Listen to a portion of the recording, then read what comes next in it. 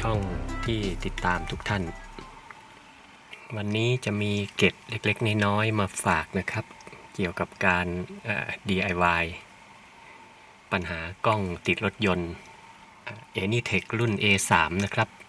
จะว่าเป็นการ DIY ก็ไม่น่าจะใช่ เรียกว่าเป็นการเก็บความรู้เล็กๆ น้อยๆในการแก้ปัญหาแล้วกันนะครับ ผมเพิ่งเปลี่ยนกล้องตัวนี้มาได้ไม่นานนะครับ กล้องตัวนี้ที่จริงก็ออกมา หลายปีพอสมควร ผมได้สั่งกล้องรุ่นนี้มาใช้นะครับ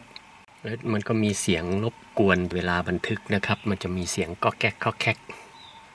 แล้วก็ไปดูในรีวิวใน Lazada ก็หลายๆคนก็บอกว่ามีปัญหา เวลาบันทึกแล้วเสียงมันมีเสียงคอกแคกคอกแคกรบกวนนะครับ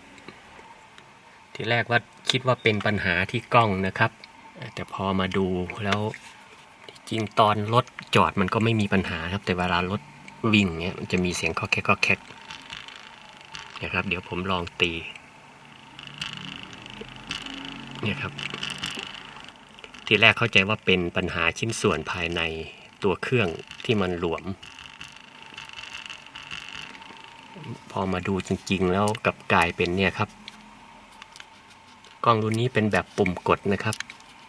เนี่ย ดูดีๆ เสียงจะมาจากปุ่มกดด้านหน้าเนี่ยครับ นี่อาจจะรู้สึกว่าเสียงไม่ดังมากครับ แต่พอบันทึกไปแล้ว เสียงที่มันเข้าไปในกล้องมันจะดังมากเลย ก็เวลานำไฟล์วิดีโอไปเปิดเวลาต้องการฟังเสียงนะครับ ว่ามีการสนทนาอะไรกันบ้างก็จะฟังลำบาก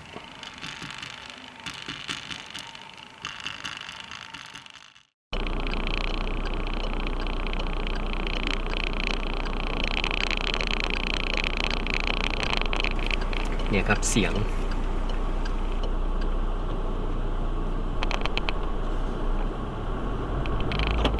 ขนาดขับช้าๆก็ยังดังเลยนะครับ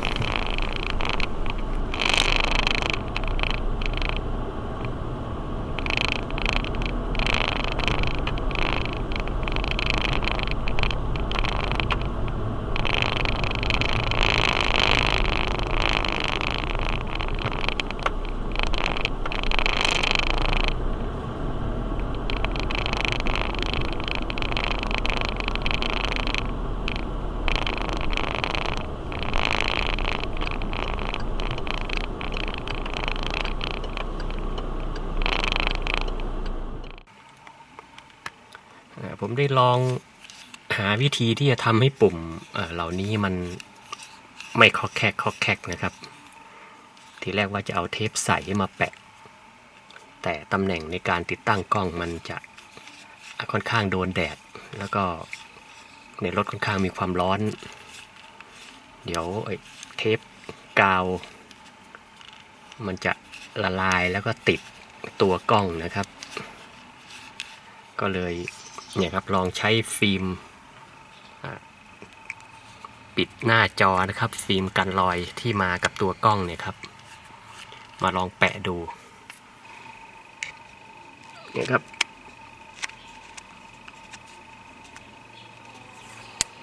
ฟิล์มกันรอยหน้าจอนะครับ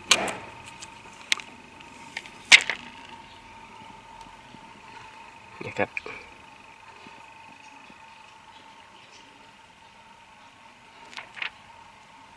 ก็ขยับ ลงมาแปะ ให้มัน ครอบทับปุ่มกดเหล่านี้นะครับ แล้วก็รีดนะครับ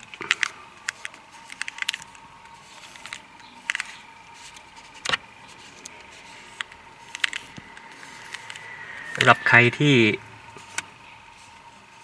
เผลอแกะฟิล์มตัวนี้ทิ้งไปนะครับ ก็ให้ใช้ฟิล์มสำหรับแผ่นแปะแผ่นเนี่ยครับพรบหรือใบอนุญาตขับรถเนี่ย เวลาเราซื้อประกันก็จะแถมมาให้นะครับ คิดว่าส่วนใหญ่ก็จะให้มาทุกปีครับ ก็คิดว่าคงไม่มีใครใช้ใช้หมดคงมีเหลือเก็บครับ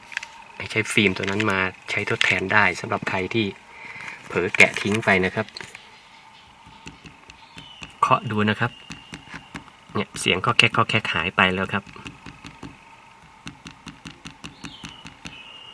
สำหรับใครที่ใช้กล้องรุ่นนี้หรือรุ่นอื่นๆนะครับ ที่เป็นปุ่มกดที่เจอปัญหาแบบเดียวกัน ให้ลองไปใช้ดูนะครับ เดี๋ยวผมจะเอาไฟล์วิดีโอหลังจาก แปะเทปตัวนี้แล้วมาเปิดให้ดูครับว่าเสียงคอกแกกคอกแคกมันยังมีอยู่ไหมนะครับ เสียงจากกล้องวิดีโอนะครับ หลังจากผมย้ายฟิล์มปิดหน้าจอลงไปปิดครอบทับปุ่มกดนะครับ เห็นว่าไม่มีเสียงรบกวนแล้วนะครับ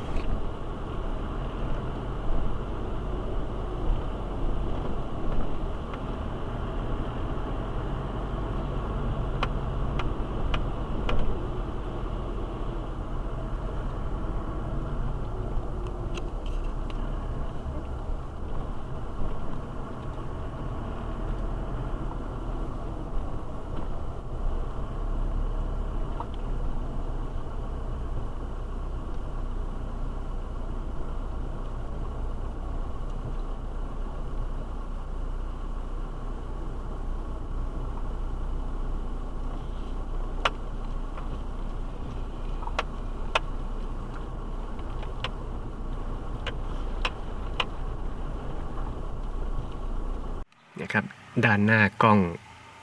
Anytech A3 นะครับ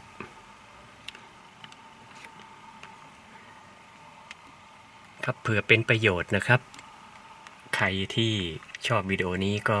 ฝากกดไลค์กดแชร์เพื่อเป็นกำลังใจในการทำคลิปวิดีโอใหม่ๆด้วยครับถ้าชอบก็อย่าลืมกด Subscribe กดติดตามแล้วก็กระดิ่งแจ้งเตือน เพื่อจะได้ไม่พลาดวิดีโอใหม่ๆ พบกันใหม่ครั้งหน้าสวัสดีครับ